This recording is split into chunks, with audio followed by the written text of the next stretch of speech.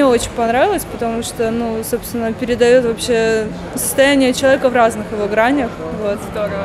Как-то Посоветуйте другим кого-то, друзьям? приходить? Всем советую, и родителям, и друзьям, и разного возраста абсолютно. И я считаю, что э, не зависит от того, в культуре ты в этно, не в этно, ходил ли ты там на трансфестивале, ну, то есть вот из такого порядка, ну, то все равно очень красиво, очень круто.